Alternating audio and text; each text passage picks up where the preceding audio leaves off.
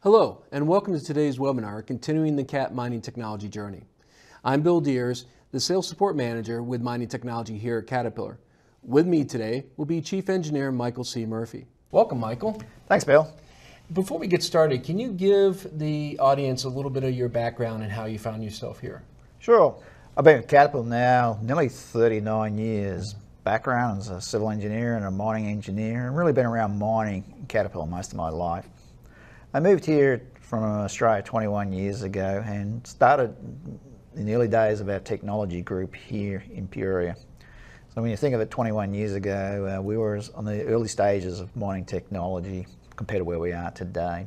Today, as chief engineer, in terms of surface mining and technology, I spend most of my time looking at where's the mining industry going, what's their technology strategy, where customers are heading. So a little bit of my background in this in this space. So you know, it's funny, Michael. We, have chatted before. You know, when I came out of mining school, you know, we had a lot of the same challenges, but didn't have the, some of the tools and technologies that the mine sites have available today. And it, it's just great to be at this point in time because of the excitement that you see and going on in the industry. Um, and that what we're going to do today is kind of walk through the, um, the autonomy in mining. And I thought, Michael, maybe we could go through maybe three steps. First of all, we could level set, let them know about, you know, where is everything today, including ourselves. And then maybe we could take a trip back in time and talk about how did we get to this. And then maybe we can finish then with um, uh, where are we going? Where's the future? Does that work? Sure. Okay, fantastic. So let's go ahead and talk about today, and maybe we can start underground. Um, what is the state of autonomy underground?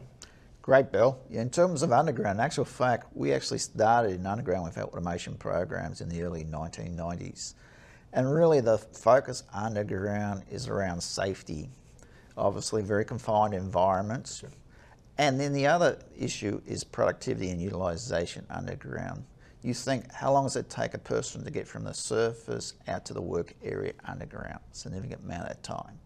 So what we're doing with automation in underground is actually with LHDs is actually having one person being able to automate an LHD away from the work surface, maybe at the surface or maybe in a control room underground. And what they're doing is the machine is actually auto loading, auto digging, and then auto dumping and traveling. An operator is just taking over at certain times for certain parts of the, of the process. Real advantage of that is a machine can run faster, does less damages because automation can keep the machine off the walls, stop it from doing damage. So really, underground automation is really the greatest opportunity in terms of safety and productivity in the underground space. So an operator is still involved. Yes. But it's more on a ratio, and the machine is doing a lot of the uh, thinking as it's going through the process. Exactly. A lot of smarts on board the machines, a lot of smarts in the, in the office computers, managing that whole process and increasing the productivity of those machines. And of course, as you realize, those machines can have nearly a virtual shift change, right? Um, you can have some on the surface, just hand over, keep the machines running throughout that shift change, which really helps increase the productivity out of the underground machines. Absolutely. So using that same thought process, let's go ahead and go up on the surface sure. for a moment. And I know we're going to spend a lot of our time talking about the pit to uh, from the pit to the crusher mm-hmm. in the automation side. But let's first start with the dozer, right? Because the dozers, a lot of dozers out there, large mining dozers, they're utilized in a lot of different ways, overburden removal, et cetera. Can you talk to us a little bit about where autonomy is with large dozers? Sure. We actually have uh, semi-autonomous tractors. We call them semi-autonomous. I'll get a little more into that. We have semi-autonomous D11 tractors working actually in the Powder River Basin here in the United States and then in Queensland, Australia. Those applications are working around drag lines, pushing material in front of the drag lines to create the bench. And of course, D11 tractors have been doing that for a long period of time. Absolutely. Now, the advantage of having automation in that space is a number of areas. One is you get the operator off the machine, so the operator is not getting all that vibration. The other advantage is actually you can run the tractor at a steeper grade, which an operator physically cannot stomach for a 12 hour shift. And also the productivity through a 12 hour shift is very consistent. Whereas what you find is if it's a manned operation, it's very hard for us humans to work 12 hours in a physical environment like that and have constant productivity through the shift. Now, what we have is in that application, that's why we call it semi-autonomous. We really have one operator who's operating typically three or four machines, and he's managing the exception. Maybe as a hard spot, he needs to take over the machine, but the machines are primarily working 99% of the time, 95% of the time, dozing by themselves. Operator just takes over, maybe a hard material, and move them out of the area to refuel, those type of things. Now, the real advantage, of course, is increased utilization, just like underground. They can work through a shift. Obviously, you know, people can work uh, in a very safe environment. And so we're seeing significant advantages of running semi-autonomous tractors in these applications. So you could still have an operator on a one-to-one relationship with a remote control. Correct. Just operating the one dozer, maybe getting the operator out of harm's way because they're, you know, a slide area or something, right? But now it's evolved and the stations and the technology evolved where now you're talking one operator to multiple machines. Mm-hmm. Okay. And pr- the primary applications for that today are In- As I said, in front of drag lines. Now we see other applications for that. The technology moving out of that application uh, longer term, we actually see that in terms of uh, dump dozing is another great application we're- we're exploring. And then the other application we're looking at is stockpiles. Now, one of the biggest challenges on stockpiles is actually from a safety perspective, operators will often get too close to the edge and put the machine into the hopper, which is can be significant, can be a life-threatening type event. So, lots of opportunity to take automation in this space and really make a step change in safety. One of the things you're going to hear us talk about a lot about what we're seeing coming out of automation is this big step change in safety. You know, the mining industry is very safety conscious, and automation is really going to provide that real big change from a safety perspective. Excellent point. So, you know, we, we talked a little bit about dozers, right, and their, their applications. So, what I'd like to do now is move to um, start with the drilling process. Mm-hmm. And can you tell the, the audience a little bit about what's going on with drilling? Drilling is one of the, you know, whereas tractors, trucks, we're talking about productivity, drilling is about precision. It's about getting the hole in the right location to the right depth. And that's what automation does for, for you. Now we have terrain out there today which are manual on, on drills that does very similar, but often it's very challenging for the operator to, you can lose concentration to actually get the drill in the right location. Automation just makes sure it's in the right location every time. And the real advantage of doing that is you get a better blast, better fragmentation, which has huge downstream impact. Means it's easier for the loading tool, less stress on the loading tool. You also get um, less energy usage through the crusher, better material flow through your crusher, and better impact impact on your processing plant. So has huge downstream benefits. Most of the studies we've seen and done show about a 40% productivity improvement by using automation in the drilling process. So it's very significant from a customer benefit. Yeah, absolutely. And, and as you said, because of all the downstream benefits you get from there, I can see why there's you know the continued excitement about where drilling is going. Um, I'm going to leave the loader for a little bit later. Sure. Okay, we'll talk about where that's going. But for right now, let's go ahead and you know, there's been a lot of talk about autonomous hauling. Sure. Um, and the role we've been playing with autonomous hauling and autonomous hauling overall. So, can you kind of, what's the state of the business right now for autonomy? hauling? Well, we're very excited about autonomous hauling. You know, we have autonomous, nearly 100, actually by the end of this month, we'll have over 100 autonomous trucks running around the world. We'll have them running at four mines. We have an extra two we're already starting to implement on. In terms of productivity improvements, it's public knowledge. We're seeing a 20% plus productivity improvement come out of the autonomous mm. trucks. But the real big value is the significant impact it has in terms of safety. If you look at the results, what happens is there's been a step change again in- in safety by introducing automation in that space. By actually working on the processes, working on restricting the number of people in those areas, doing certain things, we've been able to get a significant improvement in safety. So, you know, from an autonomous viewpoint, now we've moved now just on 600 million tonnes of material with autonomous truck fleet. Uh, and then it's an exciting what, way it's changing the way people think about mining. Yeah, absolutely. I know when we uh, we have a, an area out in Tucson where we actually do live demos of the autonomy, um, and it's just the, the excitement we get every time that we're going out and, and we're showing where it is because I mean it's reality. Exactly. Uh, it's it's it's not something. It's not theoretical for us. It's not theoretical for the mining companies that we're working with and putting in place. It's reality, and they're seeing the results today. Well, you start to see that. You look through the iron ore op- properties in Australia. It's become the norm now to run autonomous trucks, and people are seeing it in their in terms of their cash costs. You know, their cash costs are decreasing because of efficiency they're getting out of their fleets. We're seeing it in oil sands. We're seeing it in Latin America as well. So, you know, a few years ago, automation was probably more of a dream. Today, you look at it, it's reality, and people are seeing significant results, as we said, around the safety side, the productivity side.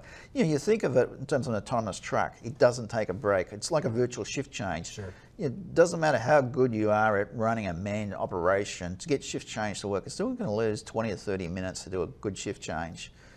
In terms of uh, autonomous truck fleet, it's in, it's in li- literally in the two or three minutes. The time for one operator to get down the ladder on the loading tool to the other operator gets up the loading tool. That's how long it takes you to do shift change on an autonomous hauling fleet.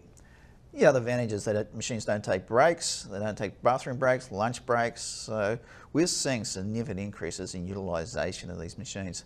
And of course, it's not just all about utilisation, it's also about getting production rates up as well. So that's how we get to the 20% plus. You know, we obviously gain a lot from utilisation, but a lot of it's how we design our autonomous truck system to run faster, to work with the operations, and to really get that shift, that truck exchange time nice and tight Yep. that's where we pick up the productivity improvements with this system. So we're going to explore a little bit more of that in a few moments, but let's let's go back in time a little bit, right? Because this didn't happen overnight. Um, how, what was the journey that we took to get here? I think some people always find that part of this story interesting.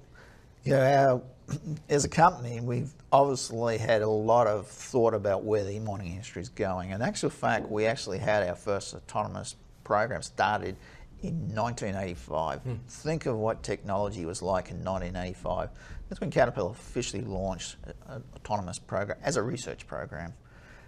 early 1990s, we actually had machines running down in Texas in a quarry. Think of this two 773s running in a quarry back in that time frame.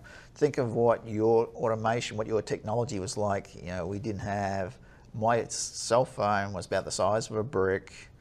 We didn't have an iPhone. We didn't have an i a watch, uh, electronic watch. We didn't have a Fitbit. So technology in those days, it's amazing how we actually could get it to work. But we did. We ran for a number of years. And then back in 1996 at MINExpo, which is the largest mining exhibition in Las Vegas, we actually demonstrated two autonomous trucks running at our proving grounds down in Tucson. So that's where we were back in those period of time, way ahead in terms of you think automobile hadn't even thought about automation in those space. So we were way out there in terms of working with the technology and uh, figuring out what it could do to the mining business. Now we had that early start, we had that leadership position, and then there was a pause. Well, why did we basically pause on the development side? Yeah, we paused uh, about 1997, 1998. and what happened is, as we went out to the industry, the industry really was not ready for automation. As we started talking to customers, the drivers that allowed us to get into autonomy, the second generation around the increased focus on safety, the shortage of workers, for example, in Australia, just wasn't a, a big economic issue back in the mid 1990s. So what happened then is, okay, we realised we were just a little ahead of our time. So we actually put in place what we call the building blocks. We sat back and said, automation is going to come. Okay. We just don't know when. Let's be ready for it. So we sat and thought, what are all the things we need to create a autonomous, not just truck, hmm. an autonomous mining system? So we started putting what we call the building blocks in place. So around about that same time frame, we came out with what our terrain product on our loading tools and track type tractors. That was one of our first building blocks, which used high precision GPS. We were the first to introduce that to the industry. We came out with we needed to actually get machine health off the machines. Okay, if you've got no operator on board the machines, you actually need to actually how do you monitor the machine? Sure. So we developed our VIM system, our onboard monitoring system. We also developed, developed MineStar Health, so we actually knew what was happening in terms of brake pressure, uh, payload, all those things on board a truck. So we started putting those pieces, pieces that customers could actually use to actually um, get productivity, get increased utilization, availability, back in that time. So we started putting all the building blocks in place, realizing that one day automation would be ready. And when you actually go back and look at a, a mine today, an autonomous mine, you'll see all those building blocks are required to move through. So that's how we basically, yes, we stopped the first generation around the mid 1990s, but we actually put in plan a long-term strategy, technical strategy of actually how to get to where we are today. So there we are. We're doing the building blocks. We're, we're helping to grow the man uh, market and uh, and improvements with mine site. Was there was there an event in your mind that started to re-accelerate the the autonomous the full autonomy? Yeah, I, to me, the big event was DARPA, well, which was really three events. And for those who don't know what DARPA is, it's actually funded by the Department of Defense, United States Department of Defense. Okay. And what it was, they put money out to universities throughout the US and ran three events. First event, and what they gave these, the colleges, universities, money to actually come up with an autonomous vehicle, and it had to run through the, the first two events were in the desert. They had to run approximately 100 miles. Okay. First event, no vehicle went more than 20 miles. Wow. However, by the second event, speed became the biggest issue, and you know who- the vehicle that Caterpillar sponsored came second, not because of capability, because it just was a little slower. Okay. So lots of progress were made in the automation space in that period, in a short period of time. And the third event was really the major, major event which happened in the 2007 timeframe, which was actually an urban challenge. And it was actually in a used military, air, military base where it had all the houses, all the roads, everything there. And it was called the Urban Challenge. And that really pushed, pushed the technology to the next level. And if you look at that event, that's actually where Google cars, uh, Apple car, all these things started to get their roots. This was the base for all the automation projects that you see today, all coming out of the universities. Now, Caterpillar's engagement, we actually were engaged with two universities. We engaged with Carnegie Mellon, which actually won that race. We had engineers embedded in that team. And we had the team for a number of years. Our engineers have been working very closely with Carnegie Mellon, and we also had engineers embedded with Virginia Tech as well, which came in third.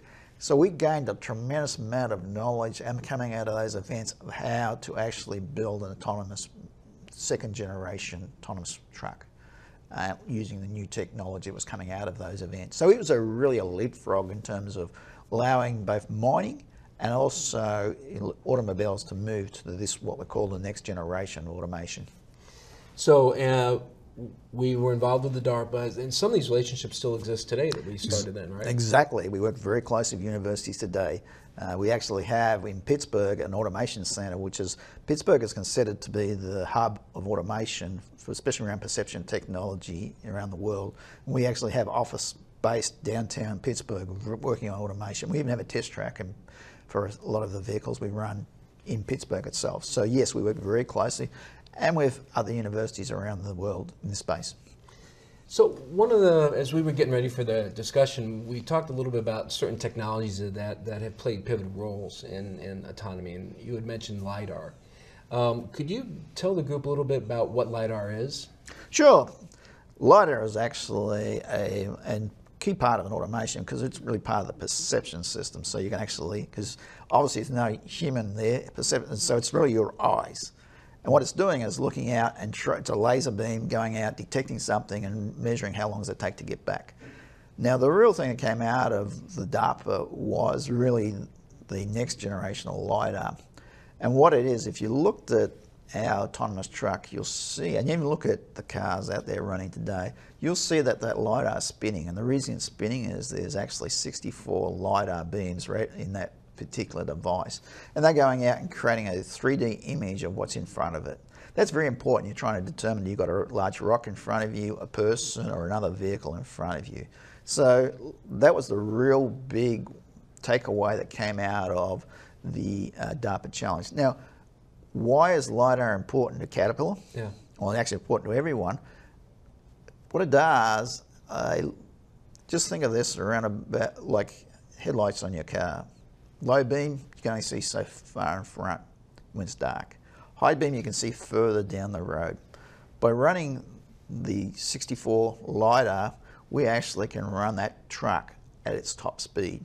It allows us to safely do it. Yes, you can run the truck, truck at that speed without a, high, a long distance LiDAR, but it allows us to really run the truck, and that's how we get more productivity out of, out of the, the system. We actually now make that LiDAR ourselves, Caterpillar. You know, we've taken it, we've hardened it for our application. As you, as you can imagine, uh, that LiDAR has to run 365 days a year, 24 hours a day, seven days a week in a very dusty, hot environment or very, very cold environment. So it runs from minus 40 degrees centigrade to 40 degrees centigrade in terms of the ambience those trucks are working in. So we've built that LiDAR to last in our mining environment. So, I, so obviously not all lidars are created equal. Right. Uh, number one, but number two, you had mentioned you know the productivity gains and some of our advantages over some other autonomous systems out there, and, and lidar is one of the pieces that allows us to maintain greater speeds, which then results in higher productivity overall for the system. Am I hitting that right? You are. Okay, perfect. So you mentioned a little bit about automotive um, industry. They kind of got the same start, same time we did um, as far as from the DARPA, right? Yep. Kind of their launch. Um, let's compare the two. What, what's what's what's what are the challenges like for us versus themselves? What advantages might we have? Can you tell a little bit about that? Yeah, the technology has obviously came from the same place, but mining has got a lot of differences. You know, from a safety perspective, we actually have a lot more layers of safety protection. We call it layers of protection. And think of as a mine for a start, the area where the autonomous machines are working, you don't just drive in there without any type of process or type of permits. Well, that would be impossible to do with a, sure. in a normal city urban environment. So you actually have to have go through a training, get certified. You obviously got a physical barrier before you get into the autonomous area. And well, that also helps in terms of safety, just reinforces the safety every vehicle that goes into that area actually has a high precision GPS area. Think of this just like air traffic control. So every vehicle is known where it is where it's heading in that in that whole area. Now that would be impossible to do in cars. You couldn't fit or retrofit every car out there today with a high precision GPS device. Sure. So we also have, so that actually is one of our key layers of safety. Our perception system, our LiDARs, they're really the last defense. If all the other layers break down, of course, we have process control, of course, but that's our last layer of defense. Whereas automobile, it's the first layer, it's the prime layer of defense. Then the last thing we have is everyone who goes in that area has what we call a stop. And the a stop device is like a garage, similar in size to a garage door opener that goes on your belt. Okay. Press that, and it will stop all the vehicles, Thomas vehicles, in a 300 meter radius. So that's the last layer of defense around the system. So we have multiple layers, and that's for our applications. The other thing, and this is where I think a lot of people don't understand the difference between automobile technology and mining technology. You know, most of our energy and effort in R&D doesn't go just to get the, the machine to run. We actually got to do something with it. We don't have this to go between A and B we're actually got to load the material, we've got to get material into that truck, we've got to dump the material, we may have to do some utility work with that truck. So we also got all these other application work we have to do. So it's not just taking a person off the machine. There's a lot of other things that occur in a mining space that doesn't happen in an automobile area where you just need to go between A and B. Yeah, absolutely. You know, it's you know when you see uh, like the Google cars, some of the cars that are out there that are that are doing that. It's you know it's it's cool. It's it's impressive. But I got to admit, when you're standing and you're watching autonomous truck fleet working, it just blows you away. Just the size and the scale and the uh, just the productivity overall and yeah, the safety. Great point, Bill. You, I mean, these vehicles, you know, got 300, you know, nearly 500 ton of vehicle running at you know 60 kilometres an hour down a haul road, and there's you know 50 or 60 of these running on a mine site. Yeah. I mean that is a, and no people in there. I mean it is a very. I know I've spent a large percentage of my time working in Western Australia for these these trucks. I mean it is every you still get goosebumps looking at them and seeing them drive. The part I always find out where it's to me is when I go out there early in the morning and it's dark on out in the mine site. Yeah. And all you can see is the blinking blue lights. The blinking blue lights that tell you it's an autonomous truck, and you just see these blinking blue lights just working their way through the mine site. It's just a very different, eerie type feeling. But uh, that's where we are today. Absolutely. So speaking about today, let's go ahead and shift gears now and talk about tomorrow. Sure. Um, we'll kind of go back in the, if you don't mind, we'll kind of go back in the same order and maybe reflect back on underground a little bit, if we can first, and talk about where we believe that's going. Um, Sure. Um, you know, we started with LHDs underground. Obviously, that was for the driver. Now, as, as people are starting to look at the value that's coming out of LHDs, they're now wanting to move to uh, underground trucks. And so we're working on taking, creating an autonomous underground truck. So that's to me is just the next generation. It's just the evolution we're seeing, and also we're seeing significant adoption of the technology underground. People are starting to realise that this just has such a big impact in terms of safety and productivity. So it's want to move more and more of the, the mine to automation. Um, it's becoming more and more critical to, for that to occur. Absolutely. And uh, we alluded a little bit to about partnerships before, partnerships that started in DARPA and so on, but just the, the fact of how partnerships, both on underground and surface, are allowing us collectively to work together to accelerate, um, bringing uh, solutions to the customer uh, that benefit the industry. Um, so, really important point, these the partnerships that we've had and built. Uh, as we jump up now, back up to the surface, uh, we already talked a little bit about the dozers. You already talked about maybe next phase, BDB, the dumps, uh, or other areas. I mean, obviously, dozers are, have a lot of different roles and different uh, at the mine site. Um, what about now drills? Where do you see that going?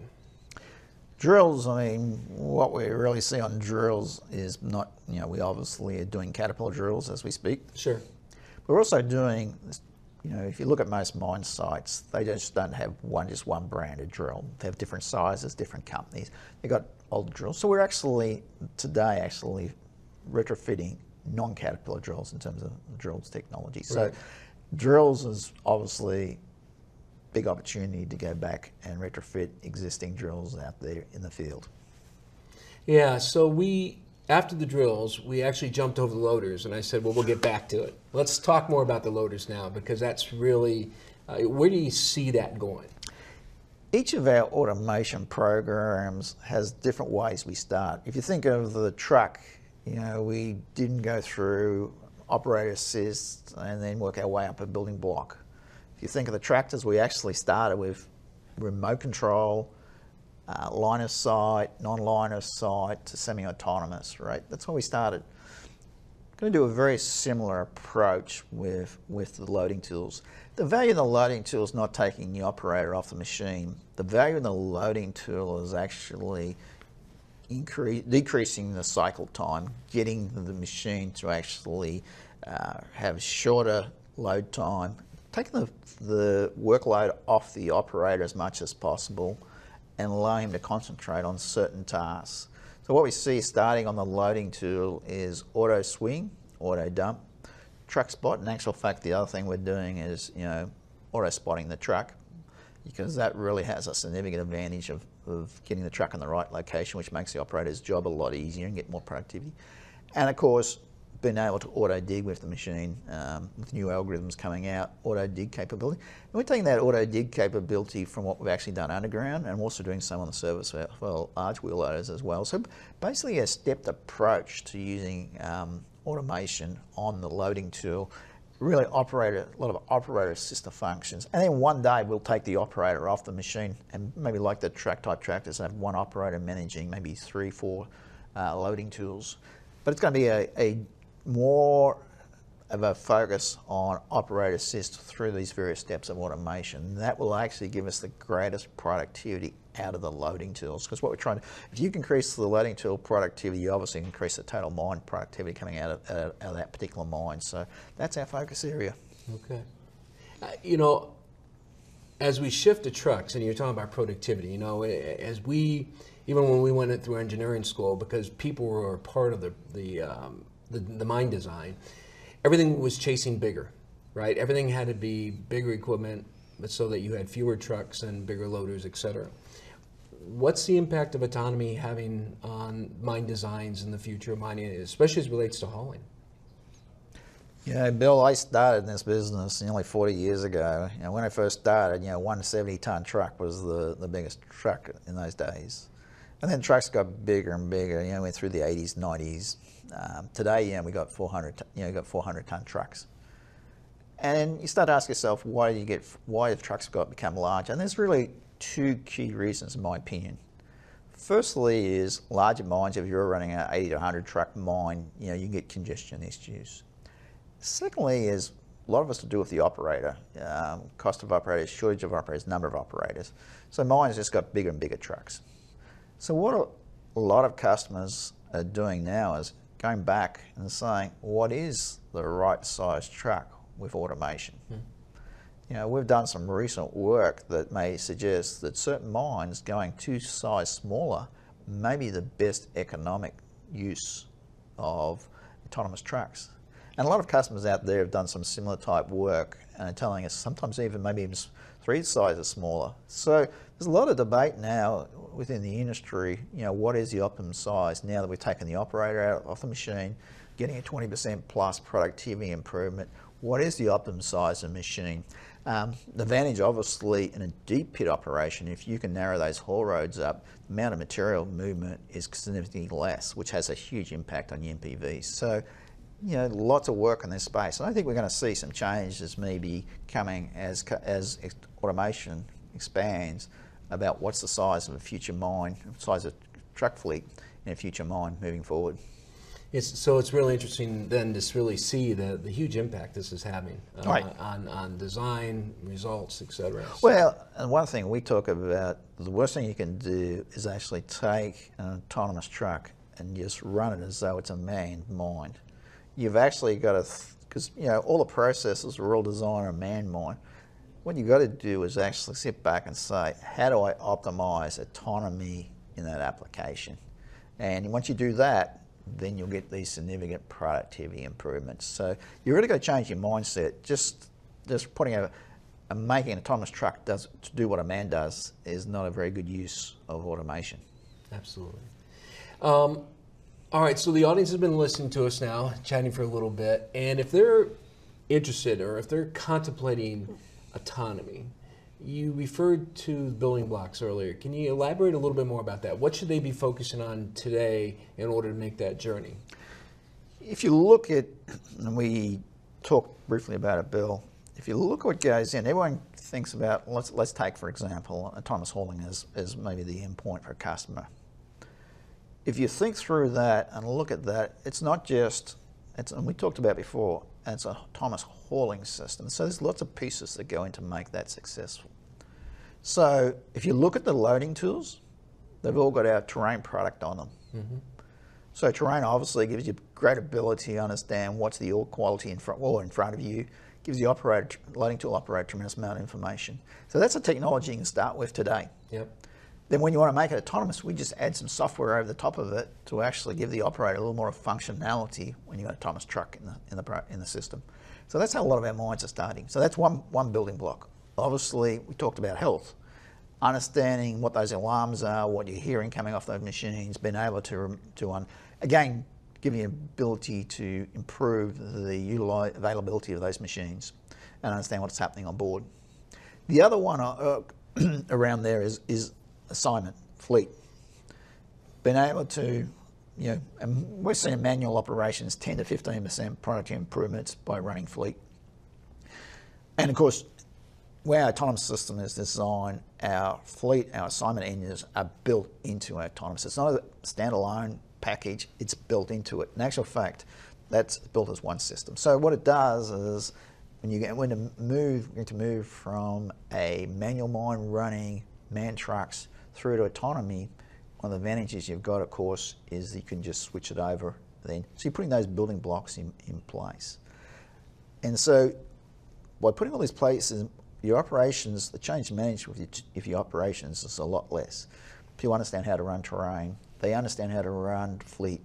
They run, understand how to get health off the machines. So when you want to make the move to autonomous hauling, for example, or autonomous drilling, you've got all these pieces in place that you can just work through with your organisation, have a lot less change management through that process. So you can take these building blocks. You have, for example, just kind of recapping, you could put terrain on your drills, you can put your terrain on your loaders, right? Get those improvements. You can have fleet to, to run the operation. You put terrain on your dozer. So we've got all these these components. You talked about health, right? So you're doing these building blocks, um, and you're still going to get an ROI. I mean, even before you get to autonomy, right? You're we're having customers get ROIs from months to you know a year on their investments, right? Um, same kind of thing with autonomy. I mean, when they finally get to the autonomy state, what's what do you think the an ROI is for? Yeah, the ROI again, in terms of months, maybe yeah. a year or so. Okay. Uh, I mean, it's, it's, again, it's a step. It's another step change. If you think the man technology gives you a step change, then automation takes you to the, next level as well. Um, but I would say the biggest where you get the biggest step change, besides the productivity, is around the safety area. And I want to really emphasize that. That's the thing when you really see a significant in the metrics. I mean, ROI productivity, we talked about, it's only a 15. Yeah, we see on fleet system, we talked 15% plus. Terrain on a, on a tractor, dozer, we see uh, historically 25, 30% productivity improvement. We're seeing terrain on drills, significant productivity improvements. So that gives you about, you know, in ranges, you know, 15 to 20%, 30% productivity improvements. Then you add automation, you'll get another, a lot of these products, you'll get another 20%. Uh, that's what's seeing out there. So again, pretty significant ROIs out there. And the part is, and I really want to emphasize this, is it starts to make your mind, you actually move with automation to more like a manufacturing environment. So what this does is it really tightens up your processes. Mm. Um, if you've got a bad mine, automation won't fix it. It'll actually probably make it worse. If you've got a good mine, it will make it into an excellent mine. It will help you on your processes and bring that process consistency. So you can start to run the mine with a lot more consistency. Now, I've been around mining a long time. A mine is not like a factory. You know, I mean, the material is just not always consistent. We all know that, but you can move a lot further along this line and this process consistency. And uh, yeah, we've been through this journey ourselves within Caterpillar in terms of you know using you know, manufacturing techniques to really improve our processes. And we're seeing the customers who are getting these big gains in terms of uh, using automation, really focusing on just getting that consistency of process through their whole operation. Yeah. That's why uh, I'm glad you brought that up, right? Because I know we've been talking a lot about the technology throughout, but it is really the, the, the, combination of the people and the process being pulled together to get that ultimate results and that consistency. Um, we've all experienced the customer who maybe made the investment and got some initial benefits and then dropped off, right? And they had to, you know, we had to go back in and work with them on getting the people and the processes aligned so that they can maximize that benefit. So. Um, now, I think we always assume that everybody understands that Cat MineStar is able to give those types of results for the mining companies because the product works on all brands. It's not just something we hang on Caterpillar product. And so for the man mine site, we you know we were able to uh, work on multiple brands. What about autonomy? I just wanted to follow up with you a little bit. Where are we going with interoperability and autonomy on trucks? Good point. Um, maybe let's shift back a little bit. You think back, I said earlier, we put our first terrain systems out in 1996. Right. We put them on rope shovels. We didn't actually own a rope shovel company in those days. Um, you know, we put our first fleet system, majority of the first fleet system went on Komatsu trucks. So we as an organisation have always believed that we need to be able to fit our technology to both Caterpillar and non-Caterpillar machines. That's always been our philosophy.